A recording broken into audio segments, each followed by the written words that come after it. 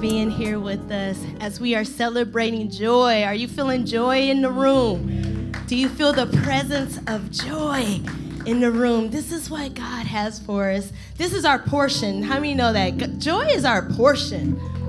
That is our portion. The enemy wants to for us to live defeated.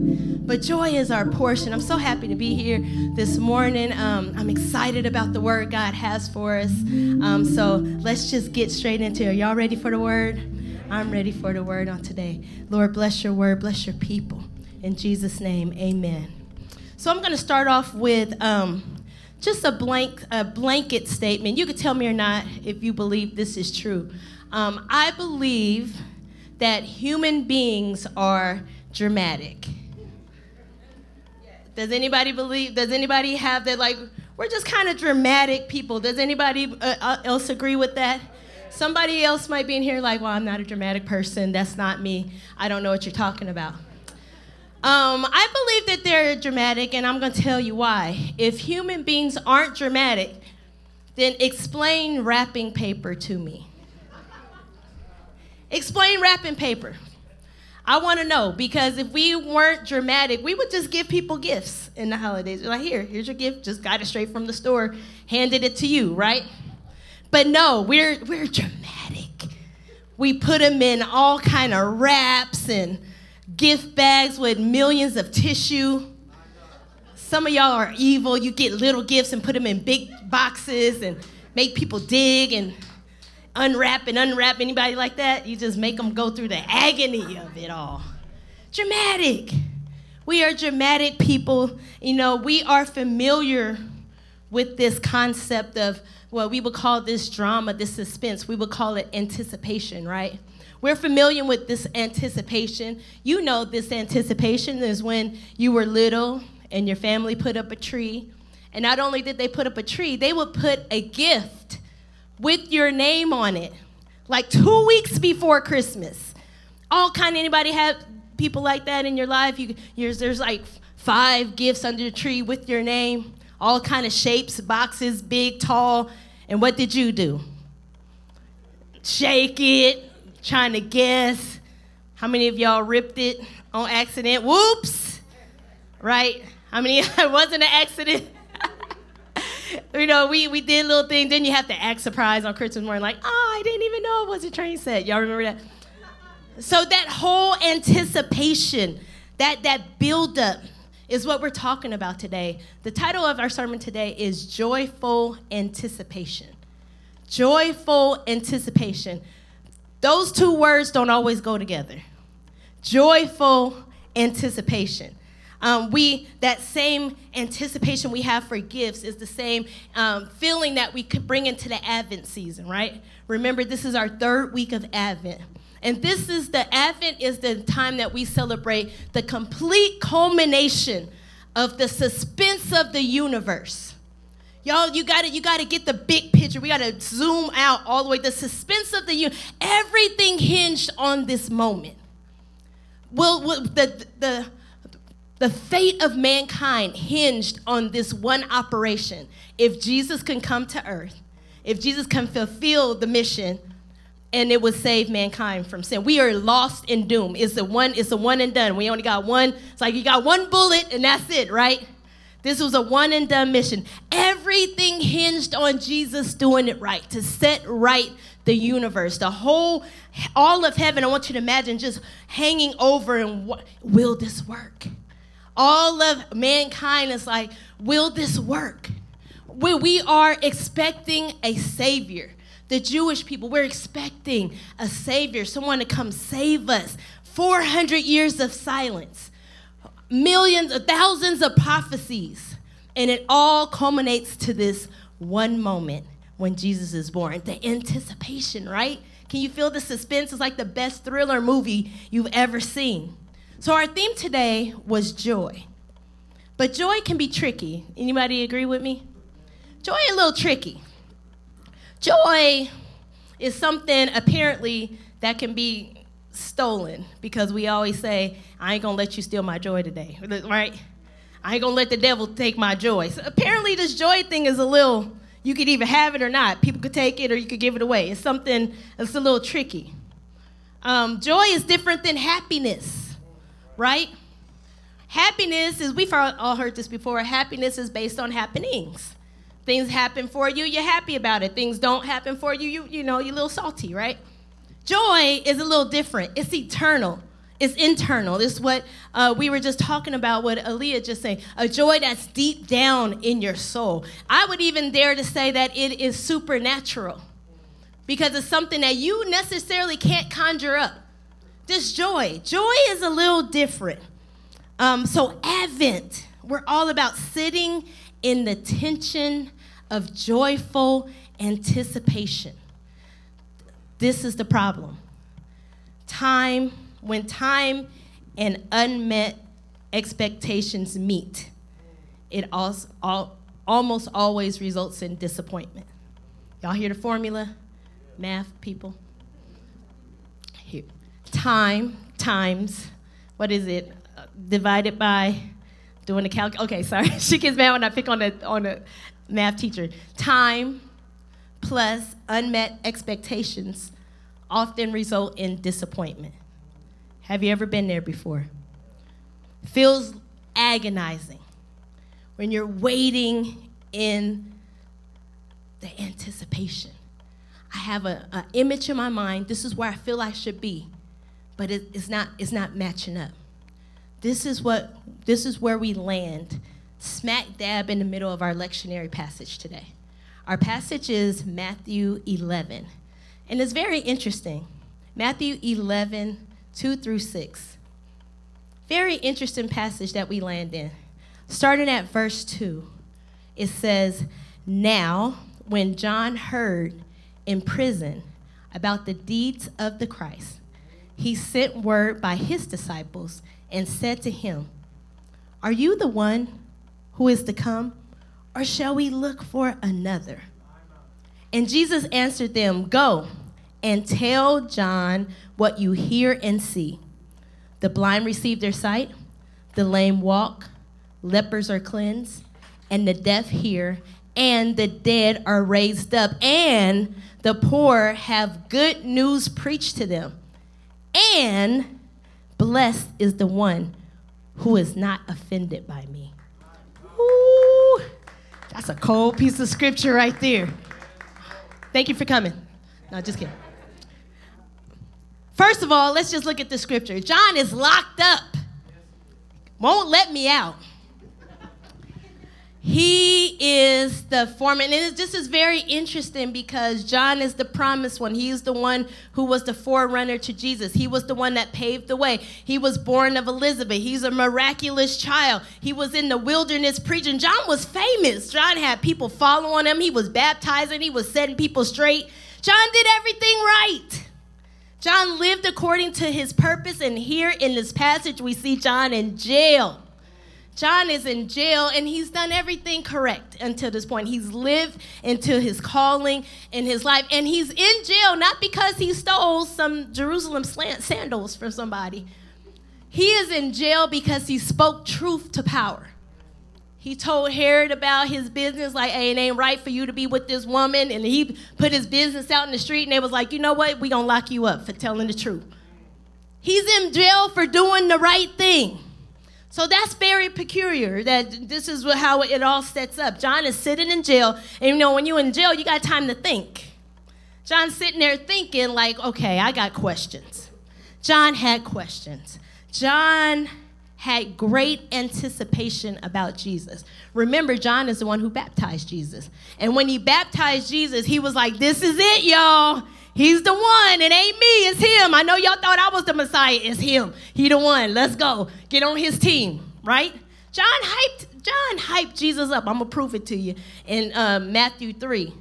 In the Message version, we love the Message. The Message version. Look, well, look what John's sermon about Jesus. John said, "I'm baptizing you here in the river, turning your old life turn in, turning your old life in for a kingdom life. The real action comes when the main character in this drama, compared to him, I am a mere stagehand. will ignite kingdom life within you, a fire within you, the Holy Spirit within you, changing you from the inside out. He's telling this is what Jesus is about to do. He's going to clean house. He's going to make a clean sweep of your life. He'll place everything in its true and proper place before God. Everything false, he will put out in the trash to be burned. This was John's sermon about Jesus. Ooh, he gonna get y'all. That's what that was essentially the sermon. Y'all about to get it. When he come, oh, he's setting everything right. All your little trash in your life is gonna be out. It's gonna be burned. Y'all ready for this? The Messiah is coming. Y'all ready? Prepare ye the way. All right. Y'all ready? He coming. And then John sitting in jail. Like, wait, hold on now. All these things that I preached, all this anticipation of what, and I, all I'm hearing is Jesus is like making fish sandwiches. He's healing people, random people. He's eating at sinners' houses. What is going on here? He didn't Jesus remember you supposed to come and sweep the house. Remember that? Remember that sermon, Jesus? Remember you, the Messiah? Like, where's the Roman, you know, the, the Roman overthrow? Where's the horses? Where's the chariot? Like, let's get with it. Like, we ready to, uh, let's go. Do you want a revolution? This is what John was anticipating, but he was dealing with unmet expectations. And I feel John. I've been there. John is me and I am John.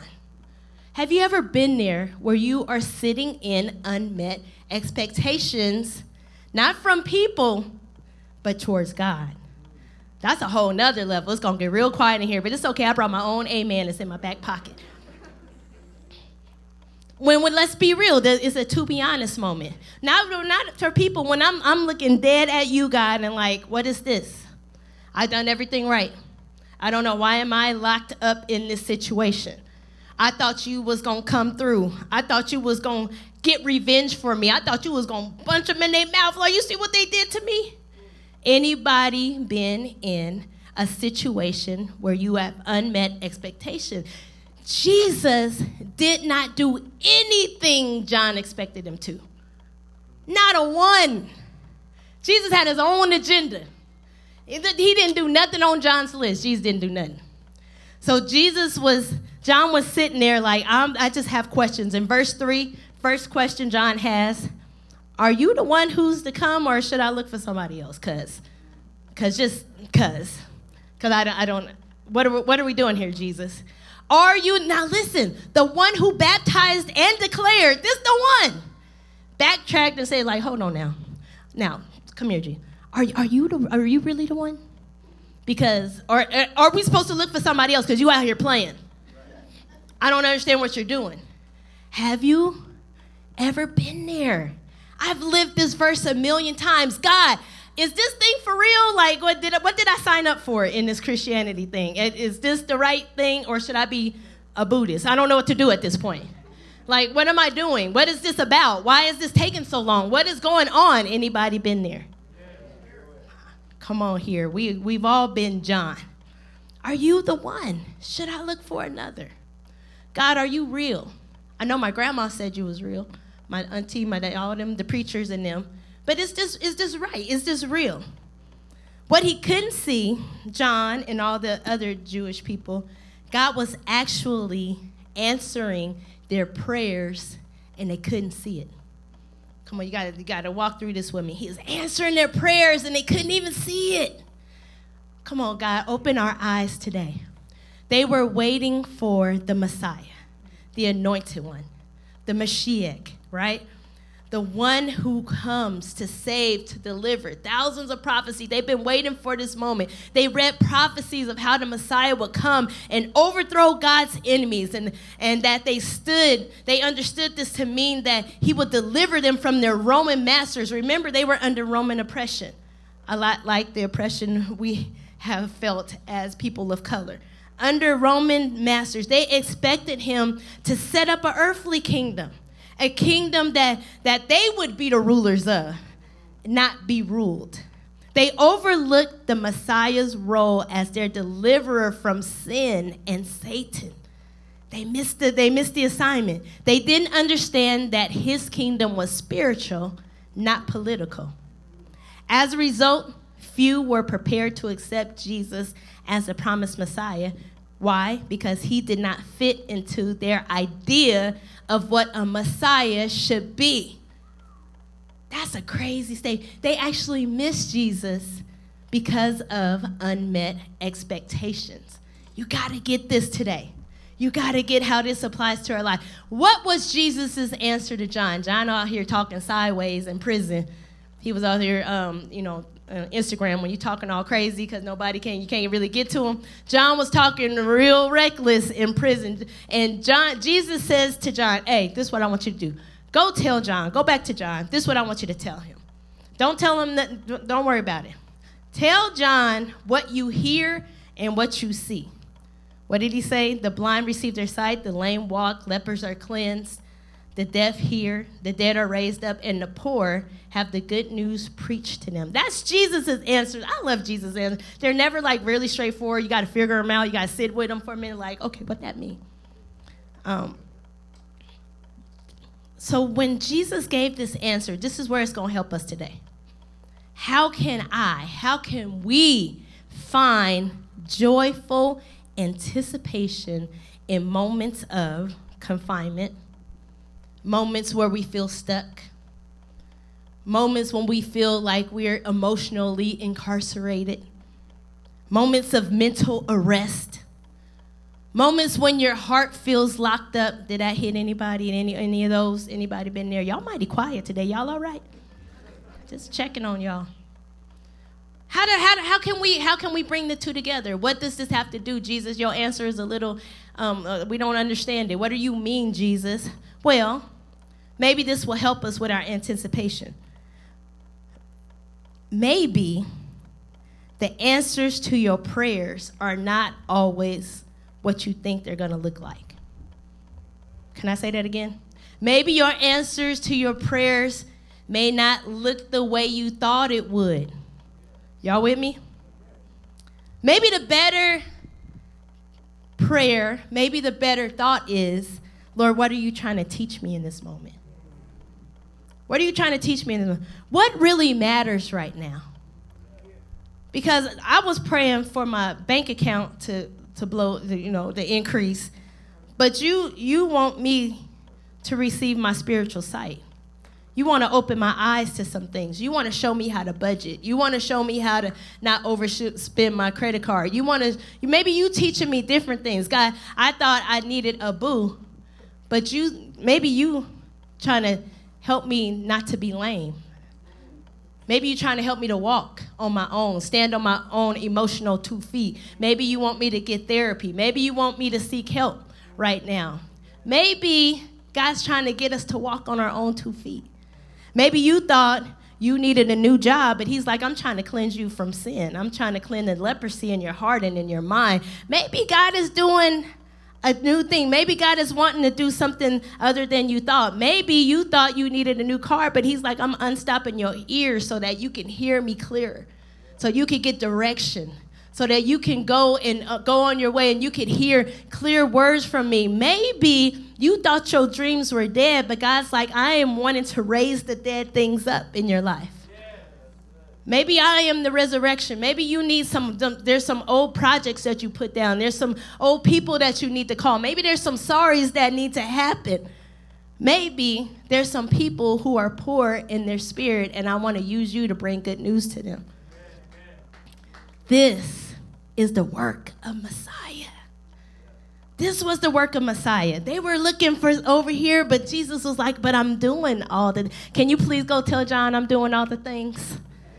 Go, go tell them I'm doing all the things. And if, uh, if I had time, we would walk back to Isaiah and we would see the original scripture where this was said, this was prophesied of the Messiah. These are all the things that they were going to do. They forgot that. They were like, we want horses and chariots. Where y'all at? Right? the main takeaway I want you to get from this is that it is important how you wait. It's important how you wait. How you wait is so important. My favorite scripture of this whole thing is um, verse 6, and I don't know if he could put it on the screen. verse 6, Matthew 11, 6, my favorite scripture of this whole passage.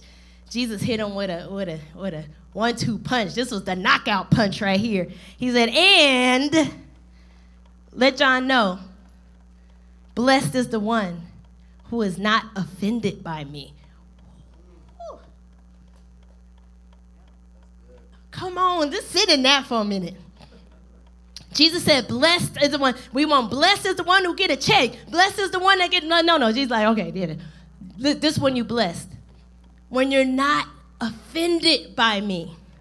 Ah, offense, annoyance, or resentment brought by a perceived insult or to disregard or disregard for oneself or one's standards or principles. I am annoyed. I'm resentful because what I thought was going to happen didn't happen. Offense. How many times have we been offended because God didn't do what we wanted God to do? I know this is tough. It's gonna get joy. It's supposed to be joy. We're gonna get joy. We're gonna get joy in a minute. But we gotta we gotta clean out the, the wound before we can go into, into the healing. How many times have we been offended by God? God, you didn't do it like I, I gave you my outline of my life. What happened?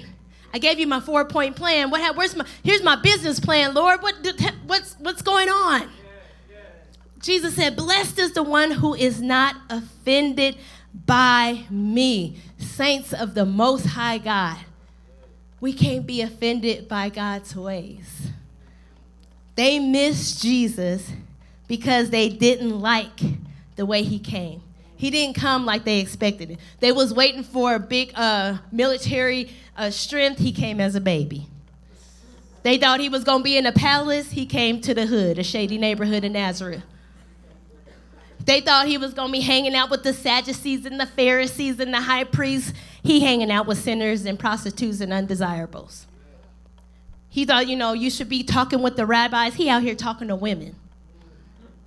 You, you know, he, we thought he was going to be healing, you know, heal us, heal our nation. He healing people on the wrong day. Why you keep, if you read through the gospel, he just kept healing people on the Sabbath. He was just doing on purpose at this point. Like, oh, what day is it? Oh, yeah, you be healed. He was just messing with him at this point. Like, Jesus, stop healing people on Sabbath. He's like, no, I do what I want. I'm the Lord of the Sabbath. Right? So, as you wait and anticipate God's answers to your prayer, my question is, what is your posture? So we get into joy. What is your posture? While you're waiting, how many people are waiting for God on something? You got a prayer request, it's pending. It's like the wheel is turning. You're like, you keep hitting reset and it's just keep pending. Like, Lord, when is it going to answer? You waiting for that download to come. It's still in a circle. It's a pinwheel, right? We're waiting on something. How you wait, and what is your posture? Will you be offended that God's not doing it your way? Are you, or, or are we going to have temper tantrums because God's not doing it our way? Or we can choose joyful anticipation. Come on, somebody say joyful anticipation. Y'all know what joyful anticipation is. This is the thing that we experienced as a kid. When you had your present and you knew it was your present, it had your name on it. You, you just knew it was for you. So you didn't have to worry, am I getting to give you? Like, I got to give it, got my name on it. I just got to wait for when, right?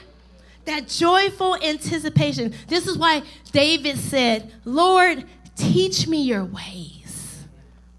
Come on, sit in that for a minute. Lord, teach me your ways. Teach me your way. Teach me your way. God, I want to learn to do things your ways because your ways are not like my ways. Remember in Isaiah says, For my thoughts are not your thoughts. This is God speaking. Neither are my ways your ways, declares the Lord. For the heavens, as the heavens are higher than the earth, so are my ways higher than yours, and my thoughts are higher than yours. We're not smarter than God. We can't figure it all out sometimes. God's ways are different. We want God's ways to conform to our ways. God's like, I ain't doing it your way. I need you to conform to my way because I'm sovereign. I know, I know I could calculate it all. I got it all figured out. I need you to get on my program. I'm not getting on your program. Amen. We're taking on that same posture as a child. That's why God wants us to have childlike faith. God's got a blessing. With my name on it. That's our that's that's our that's our mantra. That's our anthem. I, I might not see it now.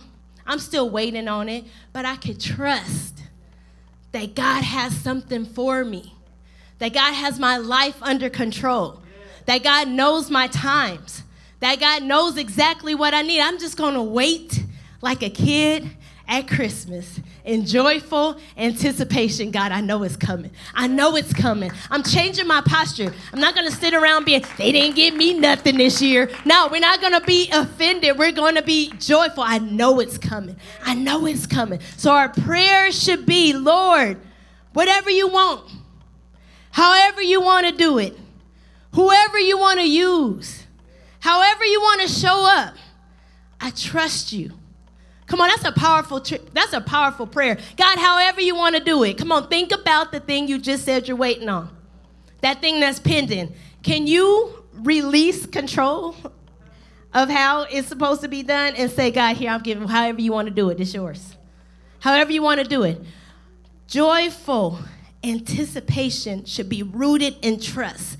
This is what joyful anticipation is about. Surrendering to God's will and timing. I'm going to say it again surrendering to God's will and timing. When He does it and how He does it is God's business. That's a whole that's a whole sermon by itself. God, that's on you. I ain't gotta worry about it. I don't gotta stay up at night. I don't gotta figure it out. God, but while you trying to figure it out, God already worked it out. Come on, that's what God wants to do. That's God's. Our job is to trust that God will do what God said. Never limit God to just one option. Always be open. Somebody say, be open. Stop thinking that just the way you want to do it is the way it's going to be done. God will blow your mind. God will wreck you. God will blow your mind. God will do it in a way you never even imagined.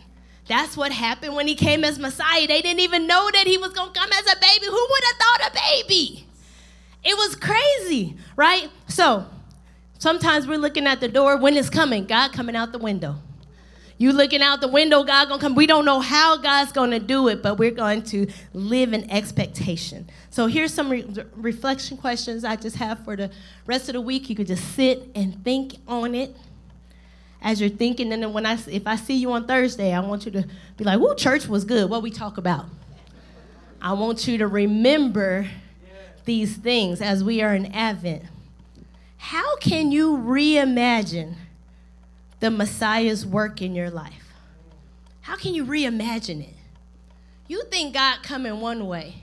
You think God's supposed to operate in one way. God could do exceedingly and abundantly above all that you can even ask or think.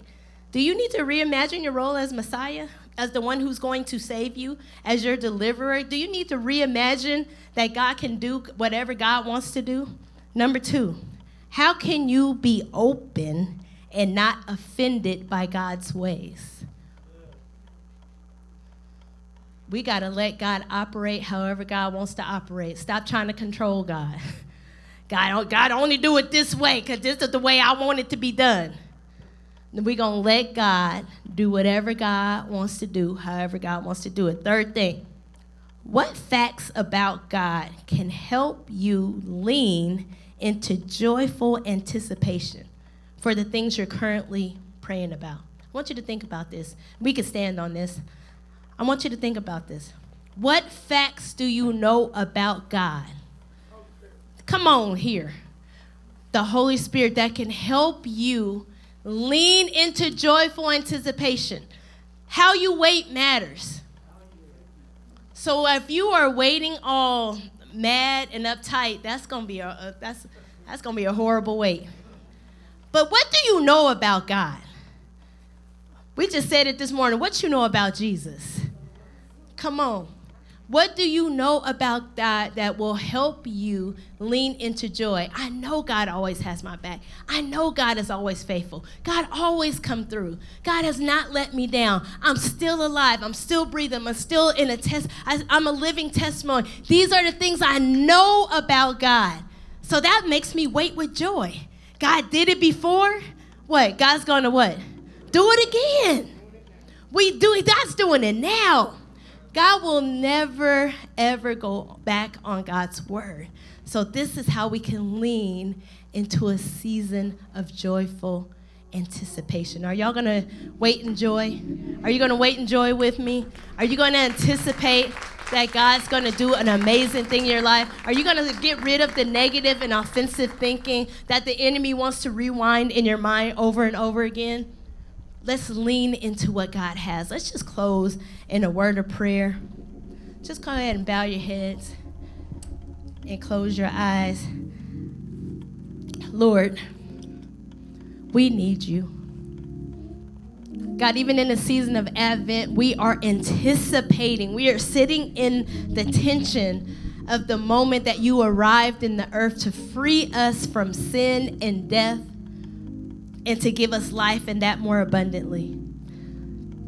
But Father, even as we are sitting in difficult situations, as John did, he was doing the right thing, but sitting in a difficult situation. Will you help us to lean into a posture of joyful anticipation of what you are going to do in our lives? God, I pray this prayer over this congregation. Father, just as you sent John the Baptist to prepare the way for Jesus, help me to clear the path in my heart too. Show me the distractions in my life that block me from all out worshiping you this Advent season. Lord, I await your coming. As I celebrate the first Advent, the first coming, I look forward to the day where I will see you face to face.